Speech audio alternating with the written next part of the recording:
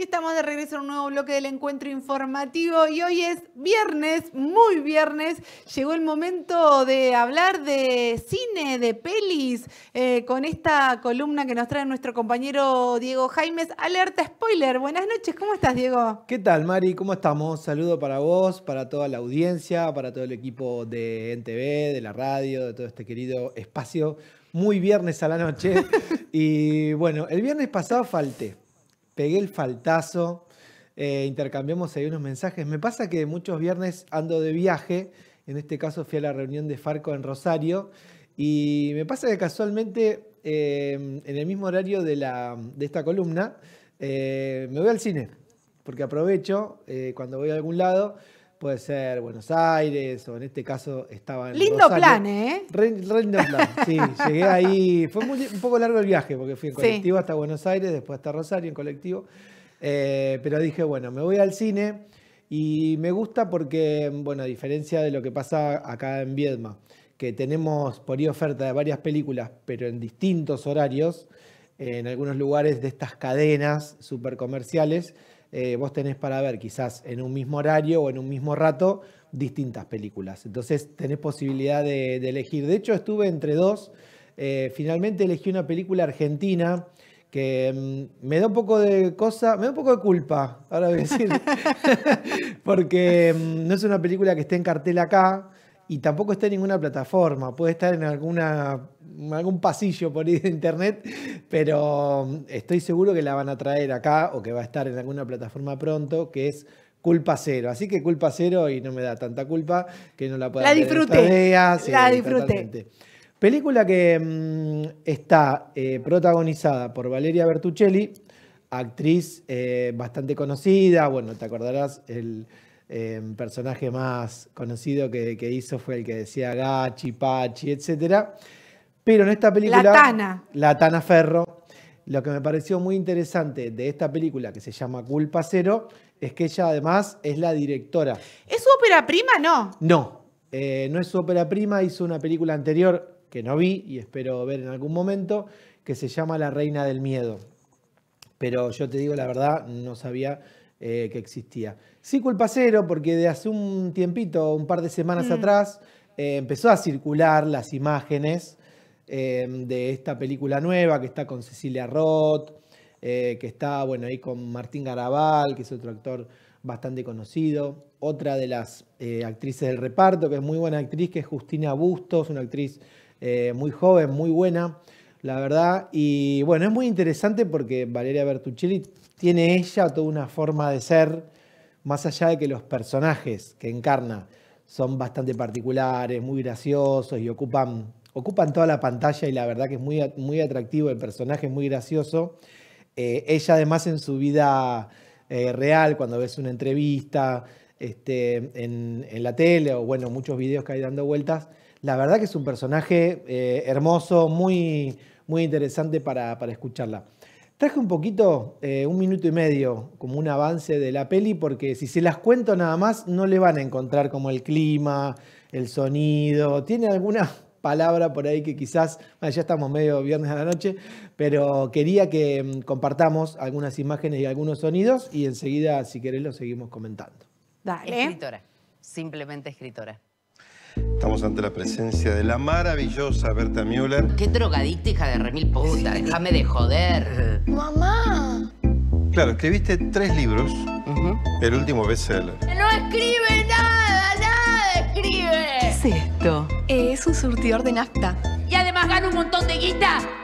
Y me la gasto como quiero. Cinco mil dólares. Amo. ¿Qué es plagio?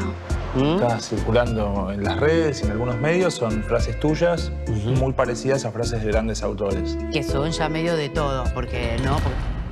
Berta, vos escribís con otra gente. Todos estamos con gente alrededor todo el tiempo y trabajamos con gente alrededor todo el tiempo. Yo pensé que esas frases iban a quedar bien. Y cuando te las mandaba vos me ponías espectacular. Espectacular me escribías. ¿Pero por qué no leía, Marta? ¿Sabes rezar? No. ¿Algo más me copié? Berta plagió o Berta eh, mm, mm, deglutió material de dificilísima comprensión. Puta madre, perdón.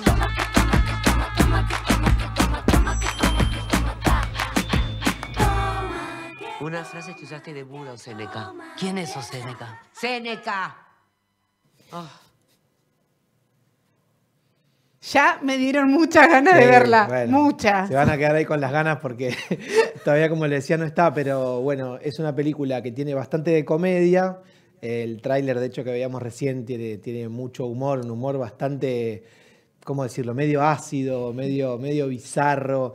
Tiene algunos pequeños diálogos que es como que el, el cine explotaba de, con una pequeña carcajada, así todo, todo el mundo a la misma vez. Había bastante gente en el, en el cine además. Eh, recuerdo, por si recién enganchan la columna, que la vi en la ciudad de Rosario, que estuve de viaje ahí. Eh, la vio bastante gente en el cine ya, más allá de mi experiencia personal. Estaba revisando las estadísticas de Inca, que bueno, por lo menos eh, el Inca nos brinda estadísticas en este momento tan complicado, más de 200.000 personas ya. Algo así como 220.000 personas. Está bueno para una peli nacional. Y bueno, básicamente lo que cuenta la, la película Culpa Cero, dirigida y protagonizada por Valeria Bertuccelli, es todo lo que le pasa a una escritora de libros de autoayuda, podríamos decir, de todas estas cosas medio místicas así, y del universo y demás, cuando se descubre que eh, varias partes de uno de sus libros más famosos, un bestseller, eh, no las había escrito ella, sino que eran frases escritas por otra persona, que es otro personaje, esto que se llama escritora fantasma, pero además una cosa muy obvia de pedazos de frases de gente muy conocida como puede ser Gandhi eh, o puede ser Séneca, un filósofo que se nombra bastante y que ella ni Que siquiera... ya sabe quién es. Claro, entonces la película como de alguna manera y, y escuchando algunas entrevistas, ella la, la armó, eh, la armó con Malena Pichot originalmente, ¿viste? La actriz y también Sí. conductora de, de radio, de streaming y que hace cosas muy interesantes. Eh, iba a ser una serie originalmente, también escuché eso, eh, de boca de ella, y finalmente es una película y todas estas personas que hacen un montón de cosas, que se mandan un montón de macanas, falta de respeto, eh, incluso algunas, eh, nada, como actitudes feas con otra gente de su entorno y viven como si nada pasara, ¿no? Con esta culpa cero que ella cuenta. Eh, como en- la película no es que es reivindicativa esta idea, bueno, voy a, voy a hacer algo total, no me da culpa, sino como que es- un poco crítica con esa cuestión, pero crítica a un extremo muy gracioso, ¿no? O sea, se compra, no quiero decir para no spoilear, pero se compra cosas que son insólitas por un montón de plata y después por ahí no tiene para, no sé, pagar una factura de luz. Pero bueno, más allá de eso, la película tiene como un montón de, de matices y como de, de signos que te va mostrando que mm, si bien es una comedia, una comedia dramática, eh, que va a lugares bastante profundos también. La relación de ella con su hija, la cuestión de la maternidad me pareció que está muy presente, la cuestión de la amistad, eh, sobre todo entre mujeres. Eh, la mayoría del, del elenco son mujeres también, eso es interesante. Y hay ahí toda como una, me parece, una subtrama de, de las relaciones entre el género femenino que me parece que es bastante, que hay como que tirar de esos hilitos para, mm, eh, para ver lo que nos quiso contar en esta película Valeria Bertuccelli y todo el equipo que la, que la creó. Eh, así que peli interesante para, para ver. Bueno, habrá que Eh, estar atentos, sí. atentas ahí a que llegue a hacer fuerza que llegue al cine acá en Sí. nuestra ciudad o que la suban a alguna Totalmente. plataforma. Pueden ir mirando si quieren, eh, hay muchas entrevistas, este, bueno, momentos donde cuenta en distintos medios, si la pueden encontrar por ejemplo en YouTube, Mm. eh, donde ella va como ahí adelantando un, un poquito de, de lo que se trata y también cuenta un poco de su propia historia, que es muy interesante también.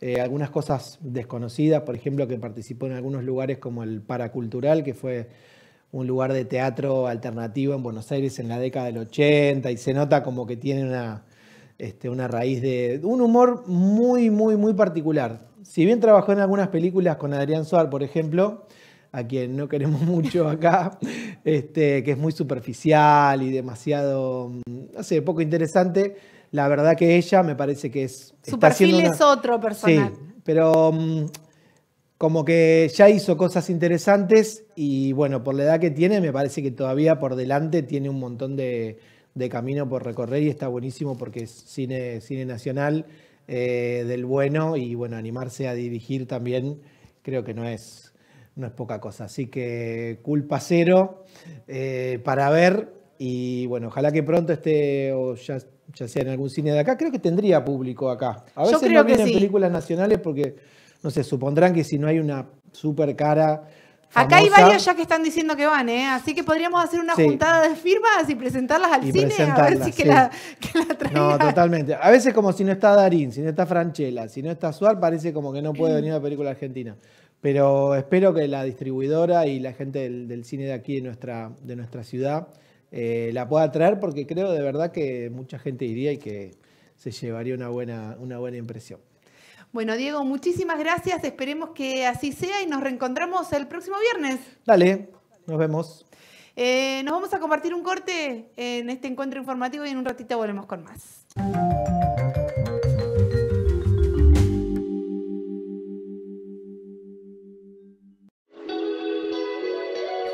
Del Pescador TV. Actualidad de la pesca deportiva, relevamientos, ofertas, sorteos, turismo y toda la información actualizada de los mejores lugares de pesca.